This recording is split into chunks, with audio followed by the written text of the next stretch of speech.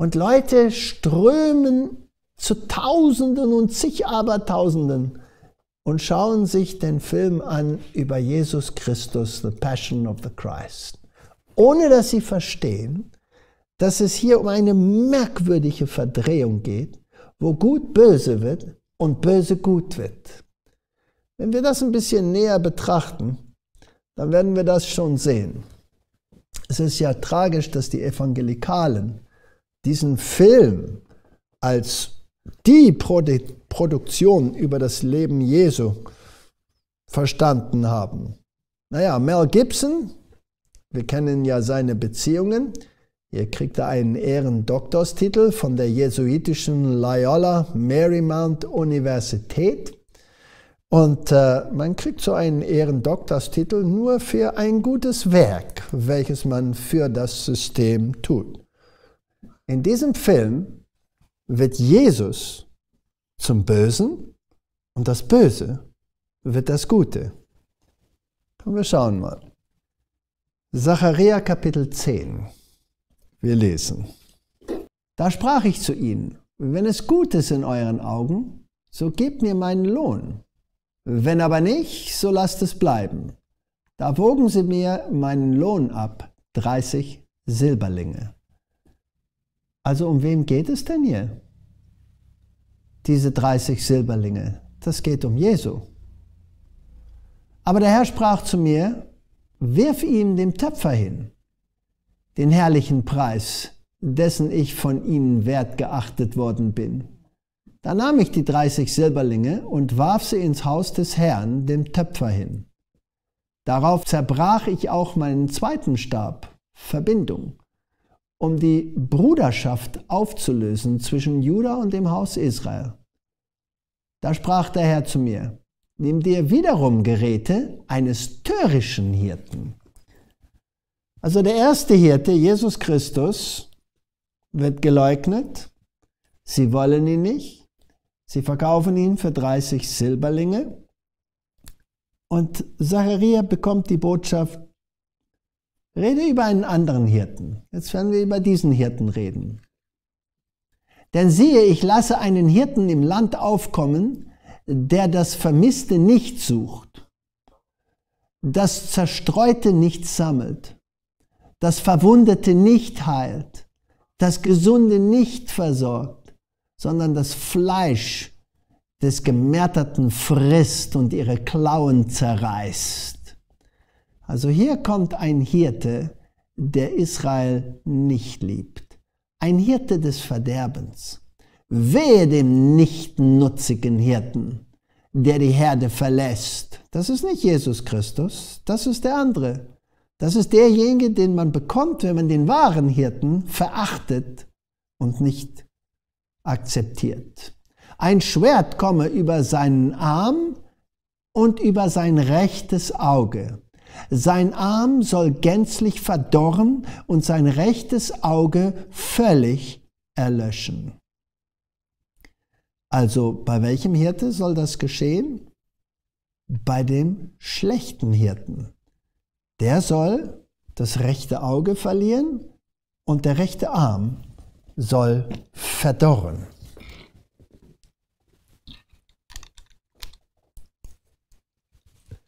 Jetzt schauen wir mal diesen Film an. Im größten Teil des Filmes ist das rechte Auge von Jesus Christus total zugeschlagen. Er sieht also nur mit dem linken Auge. Er ist ein Einäugiger. In den Vereinigten Staaten, das CFR, Council of Foreign Relations, Amt für Auswärtige Angelegenheiten, hat ja ihren Christus auch nur immer als Einaugigen und nackt total nackt. In diesem Film am Ende steht Jesus auch da, total nackt. Aber die Bibel sagt nicht, dass er am Ende nackt war. Wir lesen in dieser Webseite, Jesu Arm wird ausgerenkt, damit seine Hand zum Nagelloch reicht. Damit sollen seine Arme eigentlich immer voll ausgestreckt und gerade sein. Trotzdem sackt sein Körper bei fast allen Aufnahmen nach vorn, sodass sein Arm fast einen 90-gradigen Winkel bilden. Mit anderen Worten, der rechte Arm und das Auge von diesem Messias ist vernichtet. Blavatsky schreibt, der Teufel wird von der Kirche jetzt Finsternis genannt, wogegen die Bibel ihn Sohn Gottes nennt, siehe Hiob. Den hellen Morgenstern, Luzifer, sehe Jesaja. Es steht eine ganze Weltanschauung von dogmatischen Ausmaßen hinter dem Grund, warum der erste Erzengel, der den Tiefen des Chaos entsprang, Lux Lucifer genannt wurde. Der Sohn der Morgenröte beziehungsweise des manvantarischen Morgengrauens. Die Kirche veränderte ihn zu Luzifer oder Satan, weil er höher und älter als Jehova ist und dem neuen Dogma geopfert werden musste. Also das ist esoterische Lehre. Esoterische Lehre dreht alles um. Gut wird böse und böse wird gut. Und Satan wird Christus und Christus wird Satan. Nach der Legende waren da zwei Söhne. Nach Okkultismus war Luzifer höher als Jesus Christus. Wir werden das weiter in den Hollywood-Filmen sehen. Noch ein Zitat von Blavatsky. Sie schreibt, Jehova ist esoterisch als Elohim, auch die Schlange oder der Drache. Also der Gott der Bibel ist die Schlange, ist der Drache, ist Satan. Der Eva versuchte und der Drache ist ein altes Symbol für Astrallicht, das Urprinzip, nämlich die Weisheit des Chaos.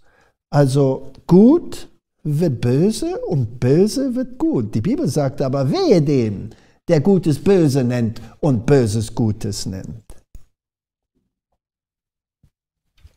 In diesem Film erscheint Satan, aber es ist ein weiblicher Satan. Und er hat das Kind auf dem Arm. Und dieses Kind Jetzt, wer ist Satan nach dem Okkultismus? Christus. Christus, denn gut wird böse und böse wird gut. Und wie sieht dieses Kind aus, welches Satan in der Hand hat? Komm, wir schauen den Film mal an.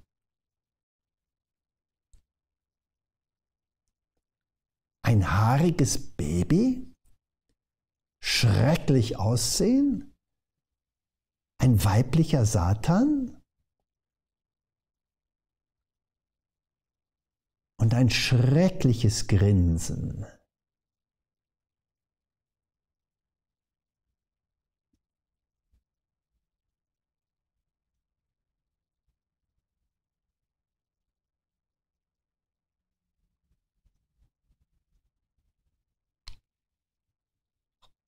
Sind da noch Szenen in diesem Film? die alles verdrehen? Mel Gibson sagte in Christianity Today, ehrlich gesagt war ich erstaunt, wie das evangelische Publikum diesen Film mehr als jede andere christliche Gruppe mit offenen Armen aufgenommen hat. Erstaunlich deswegen, sagte er, weil der Film so marianisch ist. Gibson bezeichnete sie als gewaltige Mitlöserin und Fürsprecherin. Also der Film geht eigentlich über Maria und gut wird böse und böse wird gut gezeichnet. Und dann der reuige Schächer am Kreuz trug ein braunes Skapulär, wodurch man das Fegefeuer überspringen kann. Aber nach katholischer Lehre ist dieses Skapular nur für diejenigen, die durch Maria in den Himmel kommen. Also die Prozession folgte exakt den Stationen des katholischen Kreuzweges und die fünf schmerzhaften Geheimnissen des Rosekranzes. Und dieser Schächer hat dieses Zeichen um sich, dass er Maria gehört. Nirgends in der Bibel lesen wir so etwas. Und noch etwas Interessantes, sagte Jesus am Ende, es ist vollbracht statt es ist vollendet. So die King James Übersetzung wurde nach Roms Ansicht am Kreuz die Eucharistie vollbracht. Die Eucharistie, das Sakrament unseres durch Jesus am Kreuz vollbrachten Heiles, ist auch ein Lobopfer zur Danksagung für das Weg der Schöpfung. Das sagt die katholische Kirche. Also das Opfer soll ständig sein. In der jesuitischen Übersetzung Douay Rhymes sagt es, it is consummated. Das ist, eine Ehe ist vollbracht. Aber die King James sagt, it is finished. Es ist abgehandelt, es ist fertig. Das Opfer Christi war vollkommen. Nicht in diesem Film, es folgt die jesuitische Lehre. Johannes 19, Vers 30. Da steht die Douay Rhymes Übersetzung. Jesus therefore, when he had taken vinegar, said, it is consummated. Vollzogen, vollbracht, durchgeführt.